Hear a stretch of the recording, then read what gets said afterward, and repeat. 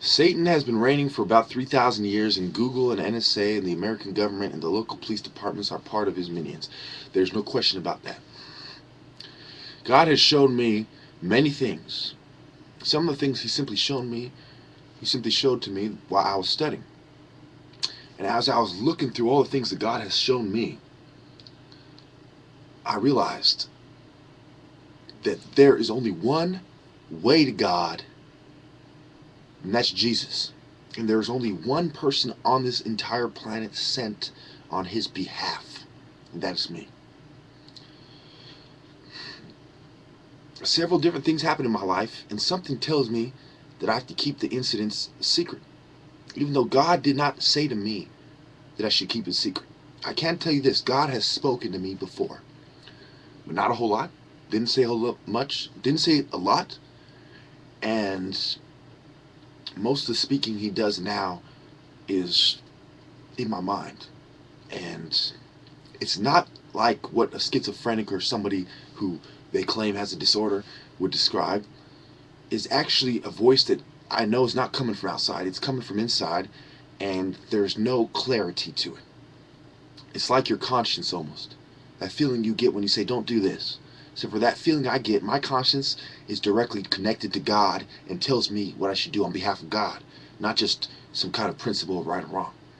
Maybe all our consciences are connected to God, but mine, strong connection, maybe strengthened through Kung Fu. But what I know is everything I've done to come closer to God has been written already.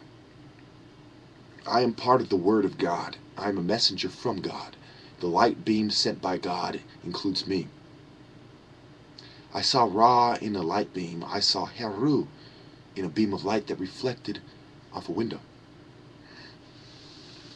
I saw many symbols and signs, and I know that I am chosen by God and that there is nothing wrong with my brain. So now comes the time when we divide. Many of my family have already divided against me, as it was written, and no prophet shall be recognized in his own hometown. Many of my neighbors who are white trash, who didn't make it past high school, have already denied the Egyptians were black, have already denied that I'm the prophet of God, and do not want to admit that Moses took a Cushite wife, much less do they want to admit that Abraham took Hagar. They do not want to admit that the Ishmaelites exist. They do not want to admit that the tribe of Judah became blacker than it originally was. The tribe of Judah started off as people who looked very much like me, but slightly lighter and as they mixed in with the Igbos, they became extremely dark. And as my dad came to America and married the Germanic bloodline, I got both sides, the good and evil. I became a sort of gray warden, so to speak. I was injected with both sides. The white devil, um, Germanic cults on the right, and my, on the left, the left foot forward, the Nubians, the Jewish, the Naphtali, and Gad. It's important to notice that when Naphtali was angry at Reuben and didn't want to take his sides because he was fucking, he was attempting to fuck his mother Bilhah. So, my ancestors are one, a guy who was angry at Reuben for a good reason. Two, the guy who saved the life of Joseph. Benjamin, a baby born out of happiness with Joseph's little brother. Now, before I even read the Bible, I knew God. Before I knew Jesus, I knew God. Before I understood the deeper implications of Jesus, I knew God.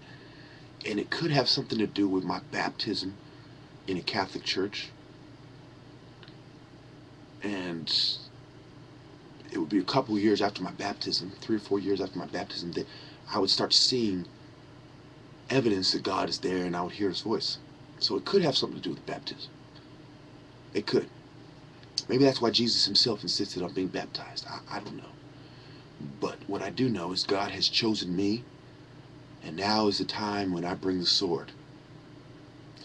God has told me that I have divine rights over everyone on this planet, that I am closer to him than anyone on this planet, and that he loves everybody equally.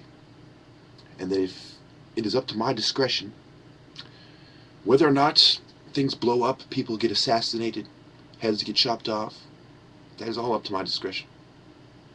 God has shown me that I am the one, that He has given me divine insight. That's why I outsmarted all the shrinks. That's why before it came out that one in ten doctors lying, I spent hundreds of videos telling you that they're lying. That's why before it came out that there were steroids in the recalls on the FDA site, I brought it to your attention that doctors and pharmaceutical companies are colluding to bring in mind control and make profit. It's war profiteering.